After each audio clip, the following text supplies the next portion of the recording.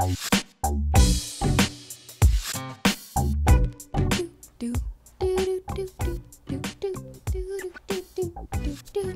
what's up? Hello, everyone, and welcome back to another episode of Simply Podlogical, a Simply Nailogical podcast. Hello there. Today's episode is brought to you by Oats Overnight. Oats. Making DIY overnight oats can be tedious, difficult, and time consuming. Mm.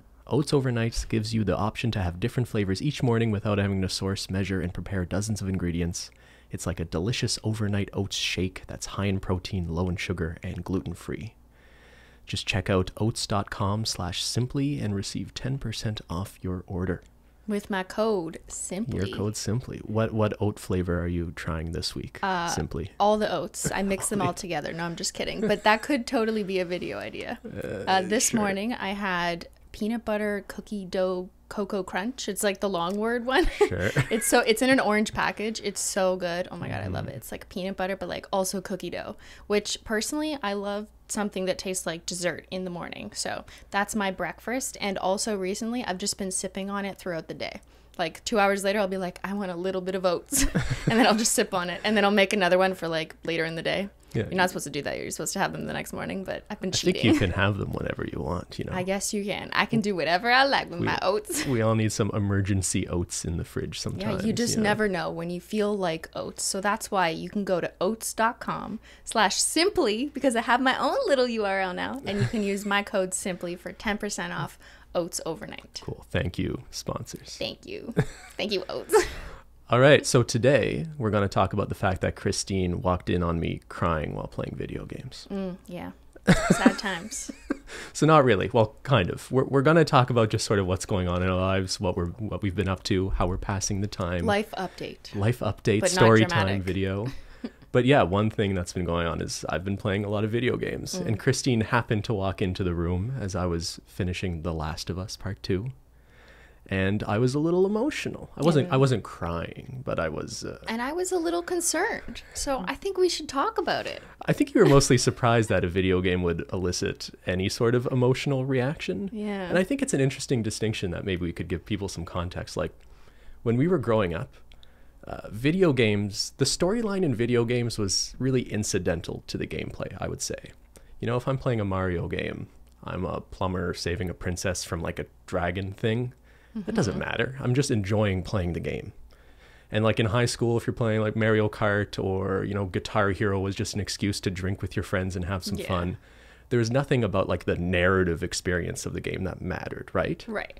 And you kind of forgot about it once you were finished the game. Like you didn't think about it later at night. I'm not like thinking about Guitar Yeah. Hero in my dreams, you know?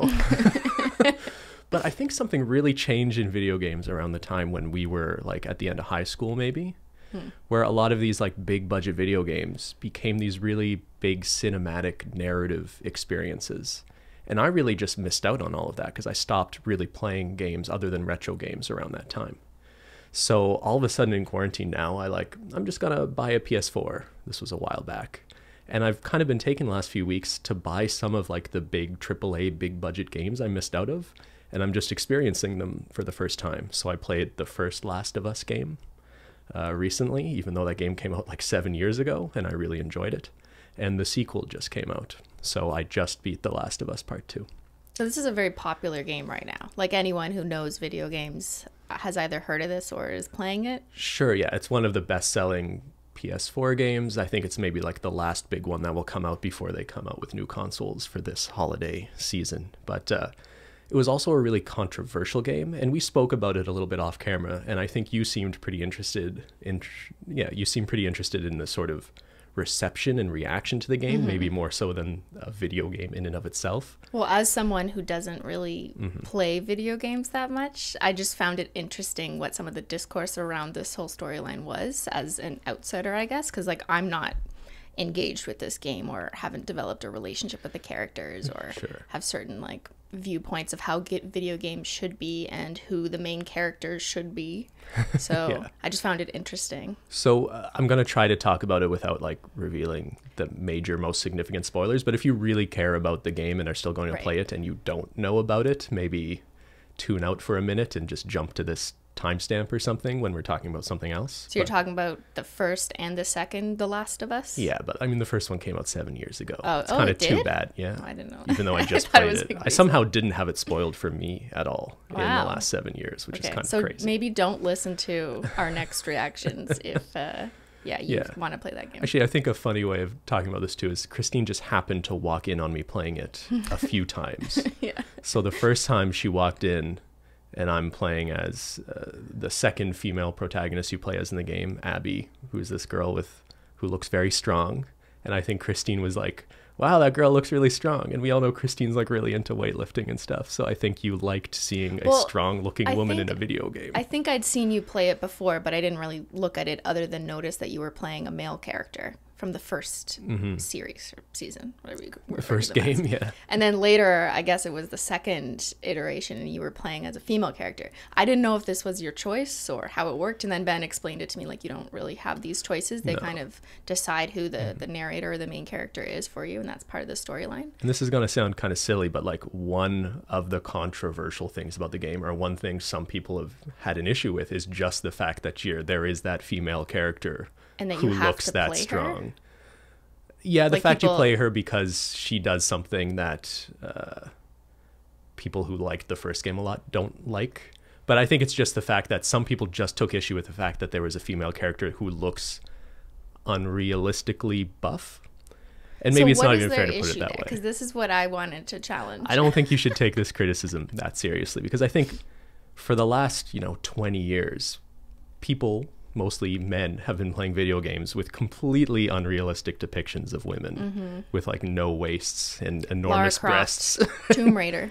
yeah. Yeah. Although to be fair to her, like as those games have progressed over the years, they've gotten they've made her more of a real character and not just like a sex object for men. And I think we should be kind of careful in this conversation, just in the sense that I know people who are really invested in video games are kind of hypersensitive to the criticism of video games being sexist. But I think it's very fair to say it's kind of undeniable that the portrayals of in of women in a lot of video games have portrayed like hyper unrealistic female bodies. At least historically. Yeah. Like that's what we're saying. That historically, decades ago, I mean, maybe the landscape is totally different right now, Mm-hmm. and on average, it isn't as bad as it used to be. But that's kind of the history of it, Yeah. right? But I, I just think like if you really take issue with the fact that there's a female character in the game with giant biceps, if you weren't also complaining about the like Then you hyper unrealistic women with like enormous breasts and no no waist and just like those unrealistic bodies, Yeah. why would you have an issue with this unrealistic body? But is it an, an unrealistic body that a woman just looks strong? I think a woman could look strong, but like she looks more jacked than most of the guys in the game, which is interesting. Maybe I she mean, just works out more. maybe yeah. Like I don't think that maybe that they have should- steroids in the uh No. I should probably explain just briefly. Like, like the premise of the game is there's a infection that hits Earth, and it's essentially like a zombie game. The infection turns people into basically zombies. So you're kind of like 20, 30 years in the future of that outbreak, uh, and society's trying to rebuild itself in factions, essentially. So in the first game, you're a guy who uh, has a job to take a girl across America because she's immune to the infection, and they think maybe they can develop a cure from her. And the second game uh, continues that story, and it really deals with the aftermath of the first game. And yeah, I think the storyline is. I don't want to ruin the story for anyone who hasn't played it, but I think uh, the story is the primary. Like the gameplay is whatever. If you like it, you like it. It's it's enjoyable. I think it's not that different than the first game, but it you're really playing for the story so much so that there were points in the game which I like really didn't care about playing the video game. I really just wanted to see what happened next in yeah. the story. And I'm not going to say people who don't like the story are wrong. I I think there are issues with it, but I really respect the fact that they went with a very they were very ambitious and bold in some of the decisions they made. Like this game is the opposite of fan service. Hmm. They could have made a second game that just made people happy in the same way the first one did, with the same characters and just playing off the same sort of emotional tone. But they really went for a more ambitious and emotional story. And it's like super depressing and hard to get through which is kind of an interesting thing. Like, why do we watch movies and TV shows that are that make us sad and are so dark and things. To feel something. Yeah, just to feel some sort of human emotion. Anyway, I, I'll tell you, I, I liked the story. Mm-hmm. And I think the reason I liked it is that it wasn't just. Again, what I was saying, like, there is a way of telling a story that just would have made everyone sort of happy, but it would have been very safe. And I really respect when there's a sort of artistic vision for telling uh, a story of character growth and development that is sort of challenging for the audience and i think just a lot of people didn't want that. And there's a point at the close to the end of the game spoiler alert where you see ellie the, who's the character you have like the most emotional attachment to. She has a chance to sort of let go of her need for revenge or let go of the past and just sort of accept a chance at a really happy future that she has and you think the game might be over and then you keep playing because she hasn't let go of the fact that she needs to get revenge for something.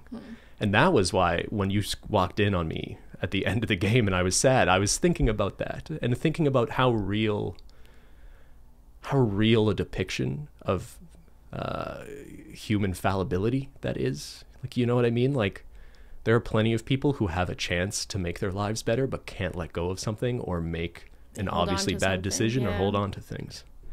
Hmm, so it's like teaching you deeper lessons than you anticipated upon entering this world. I think it's a really mature and realistic depiction of of a revenge story.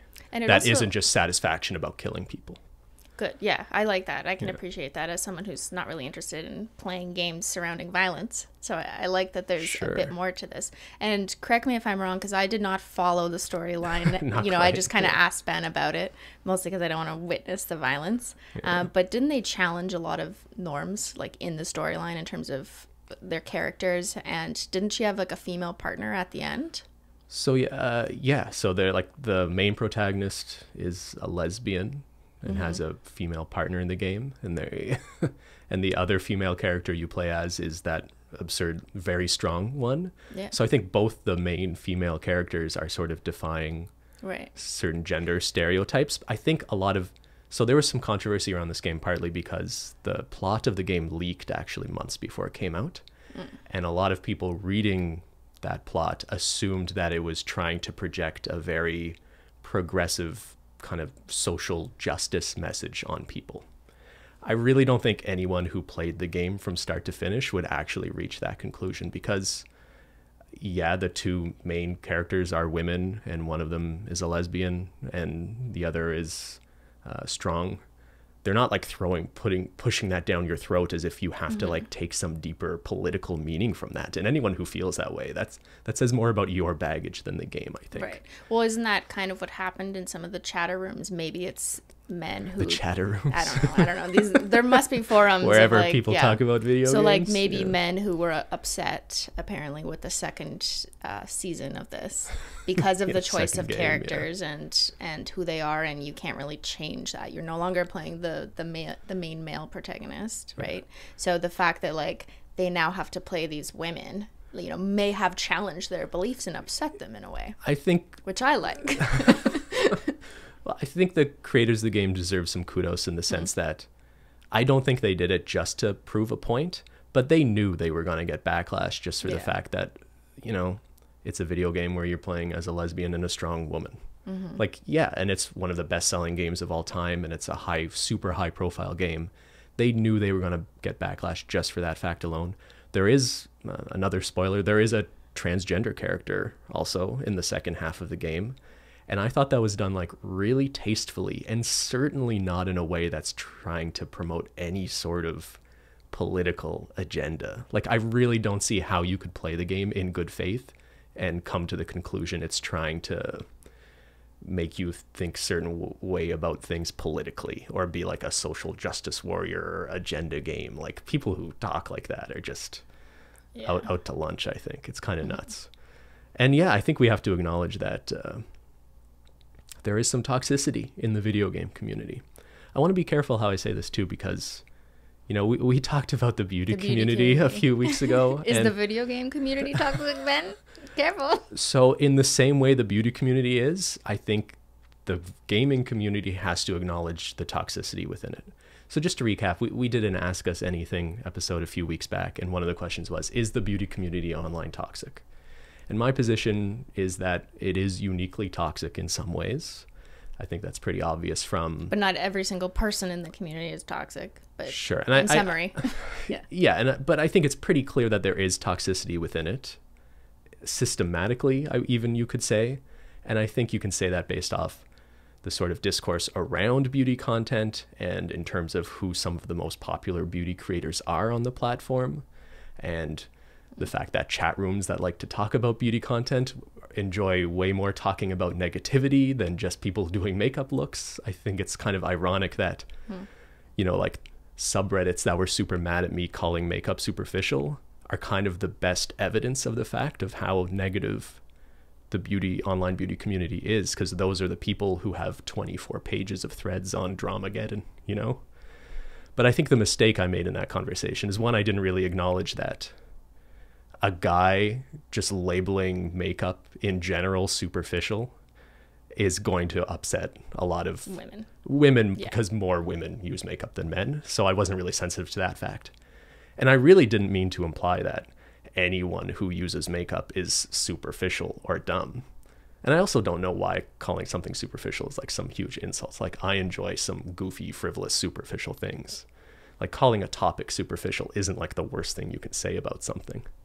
But you you very eloquently pushed back on my characterization and explained how a lot of people use makeup for artistic reasons.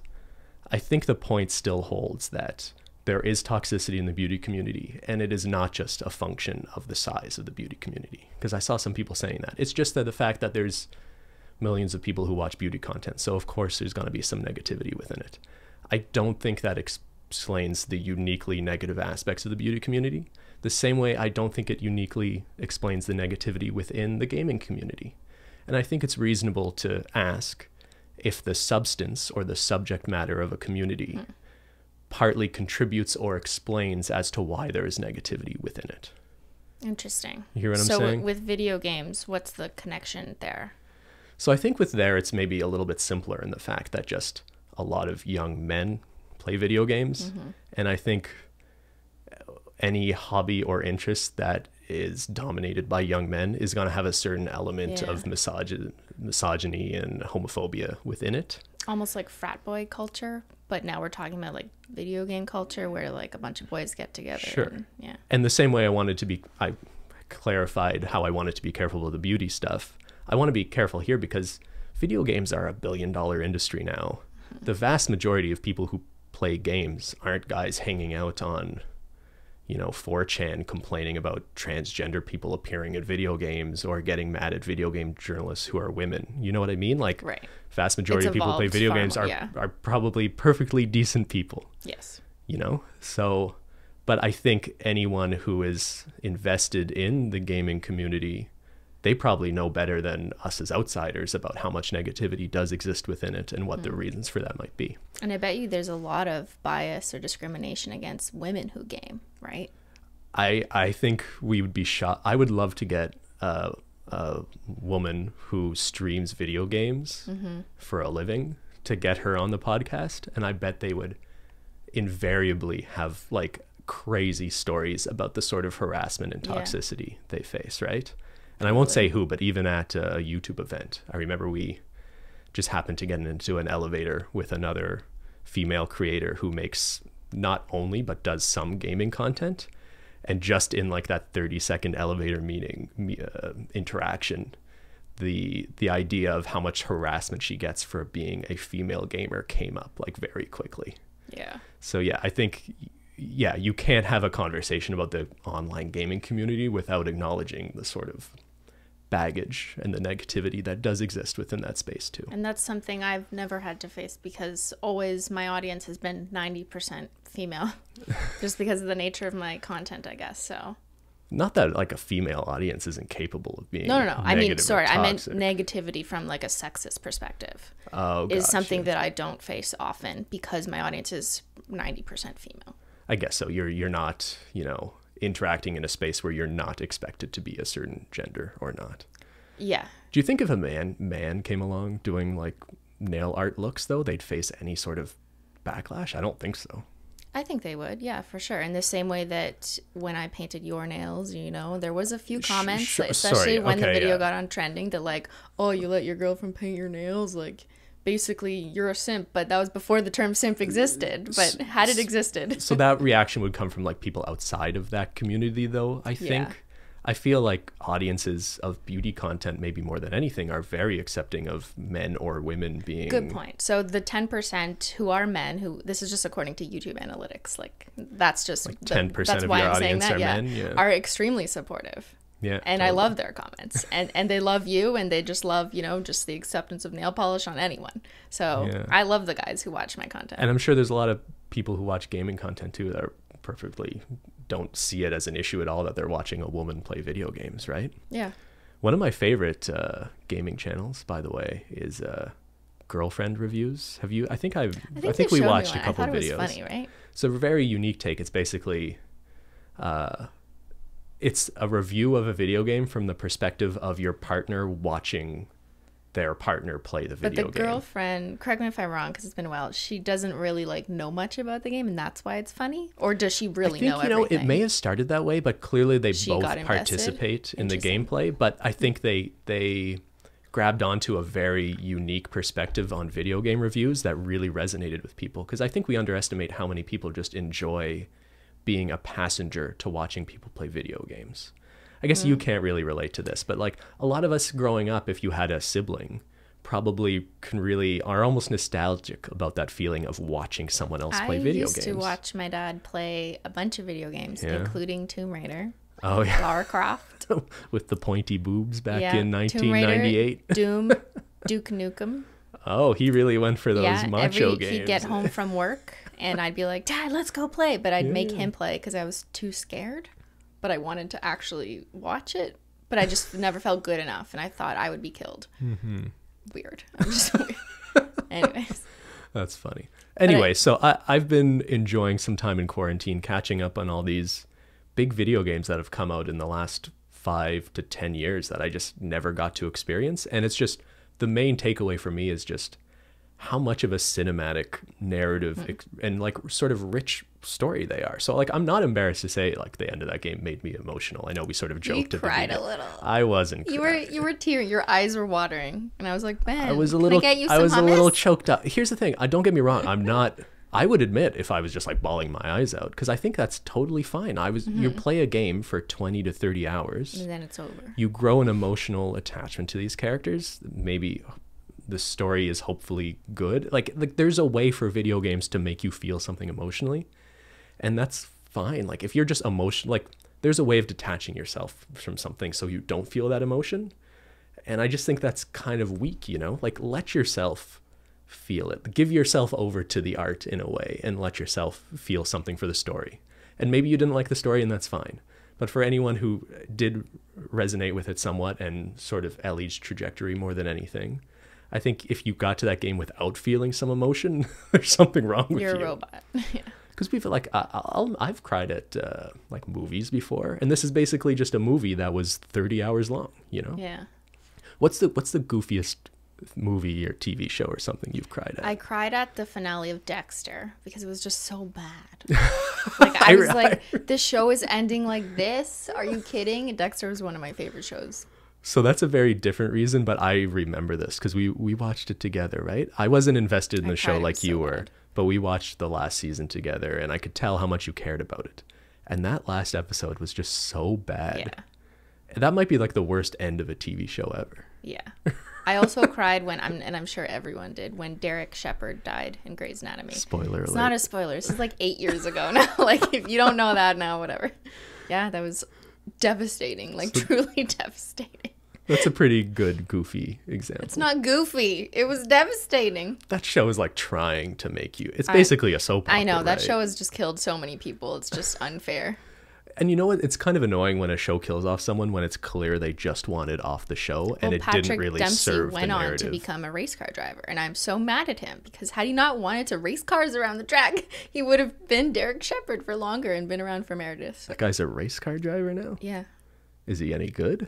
I don't know. Or did he just get a bunch of money and like I want to drive cars fast? I I don't know. I don't. Oh, you haven't I followed follow his, racing career? no, but I'm sure he's forever known as Doctor Dreamy. I'm sure people on the track will be like, "Hey, Doctor Dr- Doctor Dreamy, Is it Mick Dreamy? McDreamy, sure, whatever." How do you not? Come on. Doctor Derek Shepherd. Okay, fair enough. Uh, yeah, I don't think there's anything wrong with crying at video games. Yeah. One other thing I will mention. So, because you said earlier that I noticed two things. Mm-hmm. So the first was I noticed that the, the female character you were playing was really strong, which I loved, and I was like, "Yeah, Mm-hmm. You're okay get it, girl." And then um, the second thing was I accidentally walked in when there was like a really violent scene going Yeah. on, and it was. I won't spoil it, but so awful just for me to I like think we could say I was like listening to some fun music. Maybe I painted my nails. I can't remember. And then I just walked in and witnessed this, and I was like, Ben, what the fuck? Ben, what the fuck? And I like ran away. I don't think it's a spoiler. Cristine walked in uh, during a, a cutscene where you see a woman getting her arm broken brutally with like a hammer. I just think it remember them saying, I'm going to clip your wings. Yeah. So actually, that's funny. That's the moment you walked It's in. not at, 'cause- funny. Well, okay. It's a bit of a coincidence, but that is the first clip of the game they showed. I think before it came out. Like that was their sort Oh. of teaser at E3 or one of those big video game conventions to show off the graphics and a bit of the storyline. the graphics were too good. I was uncomfortable. And actually, a lot of the reaction to that clip coming out at the time, I think, was also like, "Oh my god! Like, is this too too much, too graphic?" Like in the same scene, you see someone kind of like almost dying from being hung. Like it's a super dark. The game is super dark and depressing. I would recommend it, but it is. You have to be prepared for the fact you're watching an incredibly, or you're playing I an guess incredibly I just don't game. understand why there is a need to depict at that level of graphic detail these kinds of violent acts. I can understand in spirit there's a storyline around like, oh, you got to fight each other, who's going to win or whatever the war is. I mean- but like why do they have to do that graphic detail? It's just so disturbing. I mean, I don't think it's gratuitous though. Like there are video games where they're just violent for the sake of being violent and just sort of knowing that there's young boys who are going to get off at, you know, people blowing up. I think it's it's a story about civilization rebuilding itself after a zombie infection wipes out uh, civilization. So So you think it's realistic? so I think it is realistic to depict that people would Oh start eating I'm each going other. to die in the new and- world. I will not make it. All right. Well, that's what's going on in my world right now. What's going on in Cristine's world? Which part? What do you mean? I'm in my saying- brain or I'm just saying. So I've been enjoying playing video games. Mm-hmm. That's something I've been up to. What What have the last few weeks been like for you? Simply. They've been okay. As I've mentioned before, I've been dealing with some uh, eye rash issues, but it might actually look better today because I'm on drugs. Yeah. The, the way to intro this uh, this uh, segment is Cristine is on steroids. but to be clear, um, I am on corticosteroids, not to be confused with anabolic steroids, sure. Not not not promoting. two very different things. we're not promoting performance enhancing drugs here. No, they are very different things, and I had to even Google it to make sure because they both use the short form term steroids. They're just steroids. So they're very easy to confuse conceptually. So just you want to give people some context. You've been having these so allergic like reactions. a few months ago, well, actually three years ago, this happened to me. Mm-hmm. Um, my eyes just blew up in a rash, and they were just incredibly swollen, and not just appearance wise, uh, but they hurt. They sting. Putting any lotion, even water on them, it feels Mm-hmm. like tiny little razor cuts all around my eyes, um, and it's a very distinct red ring. It's not eczema, which is usually asymmetrical and kind of spreads and comes and goes and is annoying, which I've always had on my hands. Or um, it's something else. And three years ago, we did determine that I was allergic to certain things in makeup, and then I stopped wearing those makeup, and I I thought it kind of went away. I also thought getting these uh, allergic, I think, reactions was correlated with a lot of travel. And like every time I went to VidCon and put on a ton of heavy makeup and didn't wash it for off for like 10 hours. Sure. It and just the stress of traveling stress, too yeah. probably triggers it. However, in quarantine, I'm not going anywhere. I'm not hugging anyone. I'm not exposed to new pollutions, and I'm not playing. Or I haven't worn makeup in months. It doesn't mean you're not feeling stressed though. Right. And so like that's the only factor. so I guess like the steroids aren't treating the cause, but they're treating the symptom, right? They're treating your body's reaction to it. Yeah, so basically corticosteroids, which are not muscle enhancers, they um, help reduce inflammation. Um, so I guess I don't really know the underlying cause. We're still trying to figure it out, and it's been a few months of like doctors and blood tests and whatever, and gonna do some allergy tests too. Uh, but a corticosteroid will temporarily reduce inflammation in your body that is negatively reacting to something. So it's doing that now, and my eye rash has gone down. But I did this before two months ago, and it came right back after the course of the corticosteroids was done. So whether it's stress or an environmental factor, something is triggering a reaction in your eyes, and Right. you So- still need to figure out what that is. So once uh, this course of treatment uh, is done, it might come back. So I'm kind of like Mm-hmm. sad at the idea, like it'll probably come back, and then my eyes are gonna feel like they're glued shut in the morning, and then they're gonna swell. Okay, let's not be so pessimistic. You're feeling good now. I'm feeling good now, but I'm afraid And it will come of back. because we still don't know why it's happening. And as much as uh, you know, we're Canadians and proud of the Canadian healthcare system, I will say this has been a pretty frustrating process. Like, I know it's also during a pandemic, so maybe it's sort of changing what this would be like. But you know, even it's hard to find and get a dermatologist to see you Yeah. in Canada sometimes, and that's really frustrating. And I get that it's a great thing that healthcare is available to everyone, but when you have the means and are willing to pay for healthcare, it's kind of like, please, can I just pay someone to just see me now? It's kind Well, that's the thing. I, I don't pay my dermatologist or. Mm-hmm. my doctor. Zero dollars, really, from my pocket. The only thing I paid for was like two dollars for the prescription. Yeah. It was literally two dollars and eighty cents for the corticosteroid prescription. Sure, sure. That's it, and that's because of our provincial health insurance and also our our government top up insurance. So your eyes are feeling much better now that you're taking steroids. It also has the side effect of Cristine has just been like crazy the last. I've been annoying Ben. so the negative effects of corticosteroids. Is it negative? Or? I mean, it gives you energy um, because Yeah. it's like boosting your, I don't know, energy levels, I guess.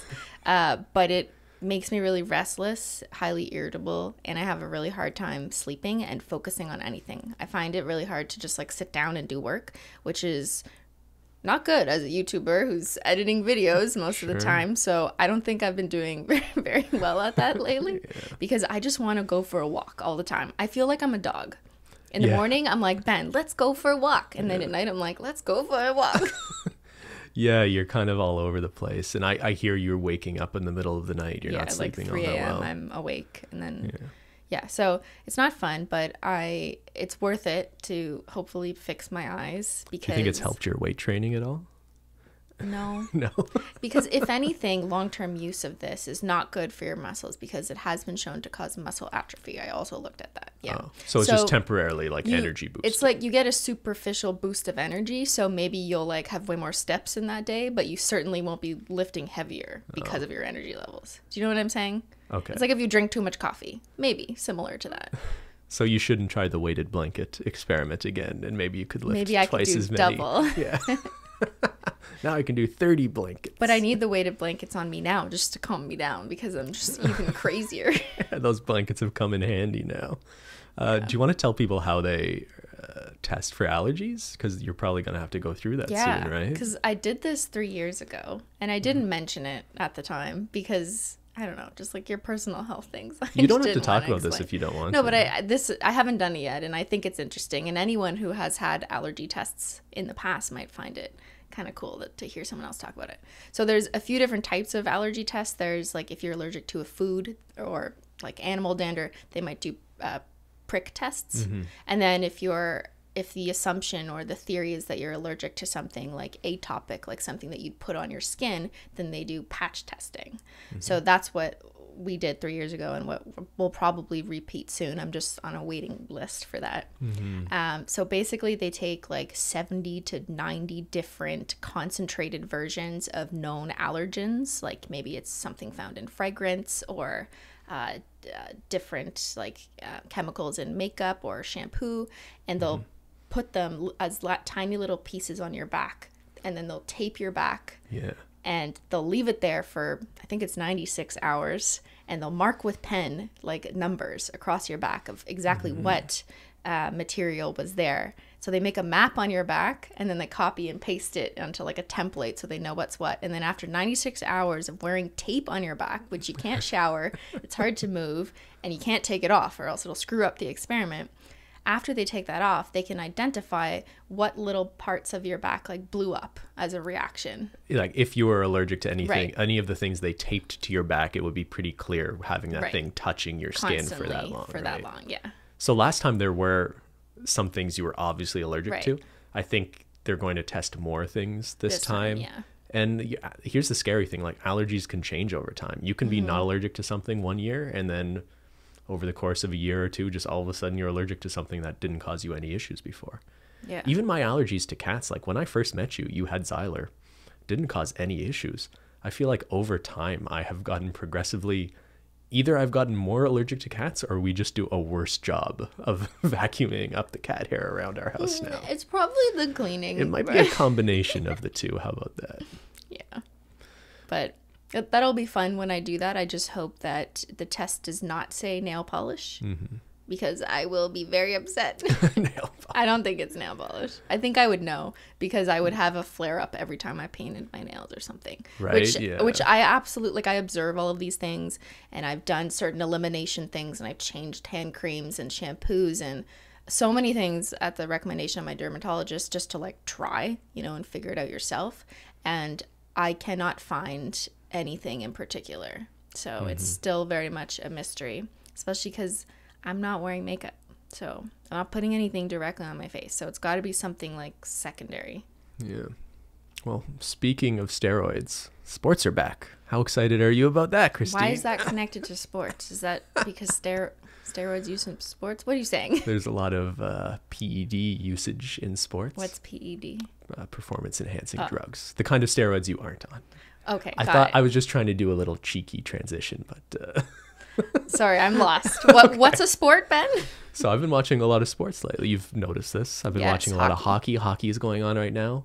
It's kind of the first time things have sort of felt like they're going back to normal in a way for me to have live sports on the TV. Yeah, because there was months where there wasn't any sports really, and then there was Yeah. this period of like, will they ever come back? Yeah, lots of talk, uh, talk of how to set up a, a bubble so that they can safely resume play. So is this Canadian sports that we're talking about, or is it like overlap? It's like both. Both so the, the basketball season has resumed and they're playing in like a compound in Walt Disney World in Florida. So that's their way of staying safe. They're keeping everyone within a bubble down there.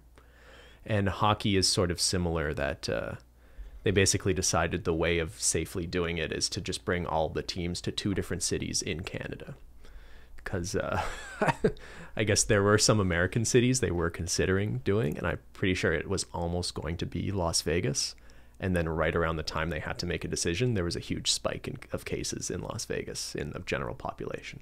Ah. So right now, like every hockey team uh, in the top 24 teams in the league are split between Toronto and Edmonton. And they're playing hockey and they're playing like competitive playoff hockey. now. American teams playing in these Canadian. Yeah. So the, the. Canadian government basically made an exception for those Canadian for those Canadian citizens or players from uh, American teams, sorry, to to fly into Canada to exist within a bubble because they've they've rented out hotels and they securely transport people from the hotels directly to the the stadiums, the arenas without leaving. and what about their their families? So their families aren't with them. Uh, so nobody's families. I think towards the the, end, like the uh, like it's a playoff, right? So there less and less teams are going to advance through the rounds. I think once they're towards the end, and it's only going to be in Edmonton, I think. I think they're going to let their families come into the bubble, so to speak. And then, but if they do that, their families can't leave, right?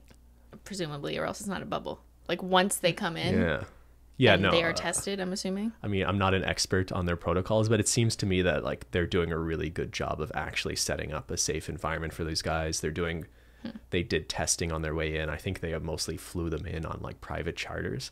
If anything, like that might be one of the safest places to be right now is In existing within one of these sports bubbles they've set It's up with testing. It's just crazy to me that there's probably so many millions of dollars being sunk into Mm-hmm. you know making the games go on and these players and all their families being accommodated and tested and flown Well, in private jets and It's funny you say that. So there's a lot of money going into it, clearly, but I think the uh, economic ramifications of them not playing more games and all the money they would make from TV contracts and Hmm. like it, it would have been devastating for the National Hockey League specifically but to not finish who? the season. just i don't understand well, to the as well. owners and the players. So I don't know how Okay. inside sports we want to get here, but basically a lot of these leagues have revenue sharing models where like the players have a salary, but at the end of the year, if the league wasn't profitable, the owners sort of have a, an agreement where some money is comes back in escrow, they say.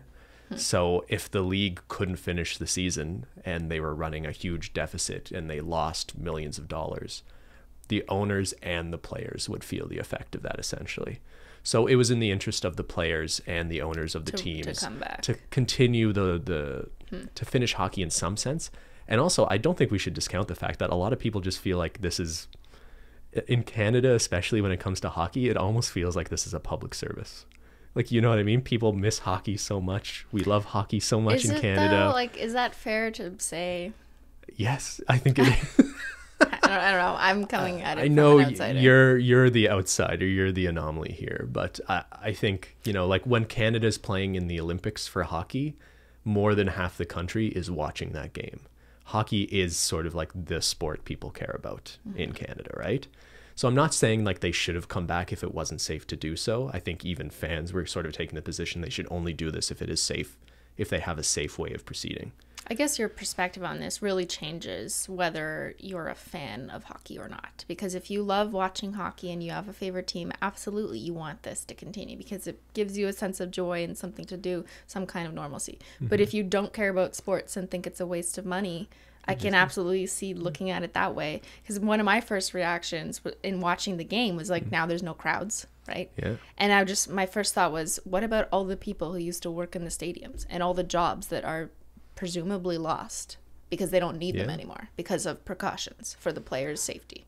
Yeah, but I I think we just hope that things can go back to normal in the next year or two. Hopefully, the billionaire owners who own these sports teams will mm-hmm. continue to pay their employees Do at we, least to some do we extent. know that at all? Or Yeah, there have been stories about that. Some have been better than mm-hmm. others. Some, yeah, I, I don't want to get into that too much. I, I don't know enough yeah, about no, it. it's fine if you don't know exactly. different leagues, different owners have been handling that in different ways. I imagine there are a lot of people who depend on that income that are kind of hurting right now. Some people who are only getting part of their salary as opposed to all of it, things like that, right? Hmm. But uh, yeah, there's there's a huge industry and a lot of people who benefit financially from sports outside of the, you know, athletes who with their million dollar contracts, who, right? other than sponsors and advertisers and providers Sure. of equipment and the billionaire owners who Right. own teams. I'm not saying anyone should feel sorry for them, but there are people who depend on these leagues and these teams for jobs outside of millionaires Yeah. and billionaires too. Yeah, and are those people still getting compensated in some form if they're not needed in the current COVID environment? Well, I think like the league has to be financially viable during this difficult time for there to be jobs to, be a come back to when they can let people back into these stadiums. I could see that argument. We have good debates. I feel like we we have had these similar debates, uh, not on the podcast, you just in real life, like talking to each other. Because I'm always trying to challenge you and be like, "But why all this money? Why?" I've noticed we've disagreed on things a few Mm-hmm. times on podcasts, and I notice a lot of comments about people, I guess, surprised that we're able to Have a conversation. just be able to have like a reasonable disagreement. What makes is me wonder what sort of uh, couple role models they have in their lives that aren't able to talk about things they don't agree with without it turning into a fight. You know what's also interesting is I think YouTubers if you watch a couple online on YouTube, they're probably only only showing you like their sweetest moments, right? Yeah. Like here's a vlog of how happy our lives is with our dog and we're by the pool drinking mojitos. You never really see the, like the real bickering and disagreements that couples just will you if you if you live with someone, you're going to occasionally disagree with them, right? But sometimes disagreeing isn't even bad. Like we disagree on a lot of things, but I find them to be insightful conversations for the most Totally. part. I, I just I mean, people. there's there's always superficial things we disagree on, like ew, I hate that color. You're so wrong, obviously. But just for like when we were talking about video games or hockey and like why should sports come back and these kinds of things, like we'll disagree and we'll be like point counterpoint, and then we'll see each other's side and be like, oh, interesting, I didn't know that. But also, have you considered this? Sure. And I think people just aren't used to seeing couples disagree at all on the internet. I think that's It's that's the healthy point of it. to disagree, guys. Just Sure. don't yell and, you know, get emotionally charged and upset and unrightfully so. We're going to like hurt each other over it. like, I'm, we're, we're not vengefully disagreeing with each other. Uh, we don't really fight all that often. Have we ever talked about this? We just get annoyed. Well, sure. And of course, these days with us, like we've still been very much, we're still acting like we're in the height of a pandemic. And yeah, I think we a- are going nowhere. a lot of people are getting fatigued with this idea of having to still socially distance or keep small bubbles of people. Like we see your sister, my brother. I go to the grocery store sometimes with a mask. That's basically That's the it. extent of us leaving the house I now. I still. never leave the house unless we're going for a walk, and we, we can walk around our area Sure. without being within six feet of So yeah, anyone. we do live in an area where we can walk where we are, or we can just take a sh- quick drive. And O- Ottawa's a nice city in terms of having some green space or very walkable neighborhoods. Yeah. So I feel fortunate for that. Like some people in LA, I guess I understand a little bit more. Actually, they- they've got nature and trails and stuff, but a lot of people maybe live in areas of bigger cities where, as soon as you walk out the front door, It's not as possible. you're in the middle to- of the big city, right? Which I understand. But this kind of brings us to another point of people who aren't socially distancing or In taking yeah. the pandemic seriously and they have the means to take it seriously and they still don't do it because they're just stupid. so I, what in, Cristine's talking about is we've seen quite a few stories lately about influencers or digital media celebrities in LA Mm-hmm. having parties lately. And I feel like, yeah, we did want to at least address it. Maybe it's sort of old news at this point, but I think we just need more voices of reasonable people on YouTube just condemning this behavior, honestly. it's just it's so frustrating to me because i'm someone who is incredibly fortunate that we have a, a big house like we used to live in a smaller condo Mm-hmm. and I, i'm thinking like if we still live there i would probably be 10 times more crazy than i am Sure. currently because at least in our home now i can go to a separate room Mm-hmm. previously i did not have that luxury so i understand from people who are living in smaller quarters are living with more than you know a few people maybe you're with roommates or with you're with family and you're just like all so annoyed with each other that it is incredibly hard on your mental health to just stay in your house i get that what i don't understand and what is so frustrating is the people who have the means the large youtubers they live in beautiful places. They have millions of dollars. They can do whatever the fuck they want in their mm-hmm. backyard, have a pool party with themselves and just their best friend and their assistant who lives them. And yet they still go to these parties with hundreds of people. They go out to dinners and they just like don't even care. Yeah, it's Why? pretty awful. You I- don't like it. Why?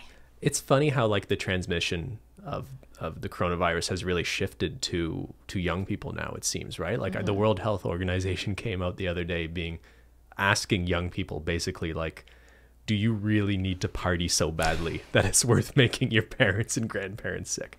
But here's the thing i think you make a really good point. I get it. If you're if you're a student and you've been stuck in a you know bachelor one bedroom apartment for months now Mm-hmm. and you you're just just want to go to your, crazy for your friend's house and or you your just boyfriend's want house to or go something. to the beach or go go to the bar and have a beer. I get that frustration, but I think Yeah. you make a really good point that if you're a YouTuber who lives in a mansion with an assistant and you have a pool and you already have a friend group that is sort of within your bubble that is coming in and out of your home, isn't that good enough? Do you need to be having like am I missing something? Why are birthday parties so, So important to, to young adults? I mean, I guess their argument, and I saw this from some manager of a TikTok house. I don't know. some manager of a something house on social media gave a statement recently that the reason why his proteges or his people, his talent clients, was yeah. was doing this was because it was part of their job, and they're not going to stop entertaining just because there's a pandemic. So his argument was that they need to have giant parties to entertain people so that they can continue their business model. Oh, that's your business model. And I'm like, oh, interesting. I also entertain people by myself. like, okay. I mean, at the end of the day, like, you know, fuck those people. Like, I don't care if those people get sick, but I feel bad But for. they're not. Yeah. Think of who are. who are the people who are going to be affected. It's the people that The have to manager, work, the people in the service industry, the people working at the restaurants that Yeah. Mm-hmm. those people are coming into. They're the people at risk, right? And I bet you those people, those servers at restaurants where influencers come, already hate those people coming in Oh, yeah. pre-pandemic, Probably. and now they hate them even more. Yeah, it's tough, man. Uh, yeah, I don't know what to say. I denounce the behavior of not not all, but some online influencers. it's bad. It, it seems to be the younger ones. It's just and why, and get it just shows all the more a level of ungratefulness that we already see from their behaviors over the years, and just like their actions and attitudes and things they say about people. Um, but this demonstrates that even more to me, the le- a level of ungratefulness. Yeah, this Mm-hmm. is gonna sound kind of terrible. Maybe I. Here's a meme. Take a shot when Ben says maybe I shouldn't say this, but no, uh, take a sip of tea. it almost like if someone who was really important to young people had gotten really sick with coronavirus early on, I wonder if that would have changed how serious young people took Mm-hmm. it.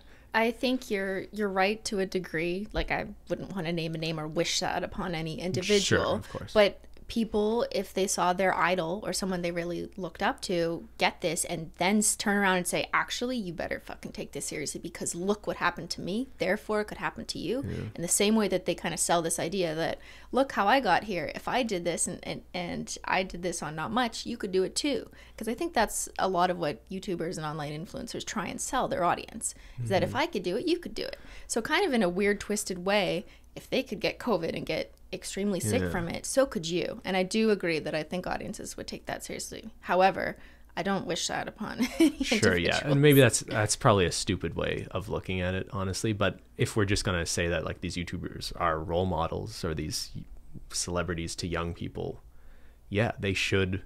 Seeing them wearing masks and being responsible and social distancing would go a long way to having more young people take Mm-hmm. this seriously. And not just going to parties and then apologizing for going to parties. Like just Yeah, just like you know what either. you're doing is Yeah. wrong.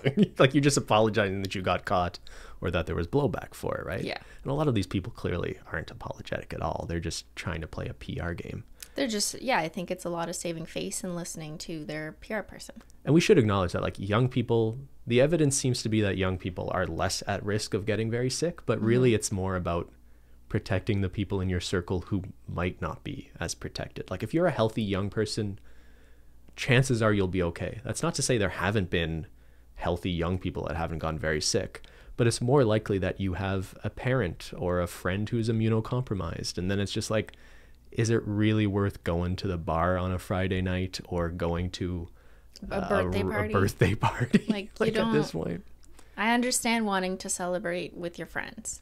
Mm-hmm. So do you not have a couple friends? Like that's it. You don't you can do that at home. I just don't get. Maybe I'm just not a party person, so it's easy for me to say, okay, That's true, right? We're not people that get off on being extroverted. So we're not feeling it the same way people who really sort of rely mentally and emotionally on social interaction are, I think. Mm-hmm. yeah, that's also So there true. is something to be said for that. But it's just it's selfishness also is that I'm seeing, like y they're they're being selfish, and they're putting their own needs of wanting to be seen and partying and.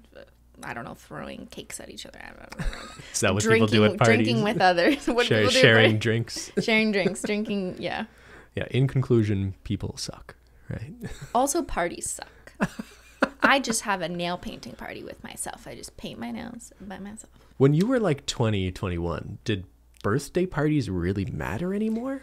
I feel like I was so over Mm. like I think, well, when I was 21, I, that was already when I was like slowing down. like I got old your quick. party days were behind Yeah. you. Um, we used to go to like the club or out for Sure. for someone's birthday. Yeah. It was it wasn't really about gifts. Like no one really brought gifts. We just like all brought a bottle of wine or something. Maybe I'm the weird one. I just I remember birthday parties being a thing for like children.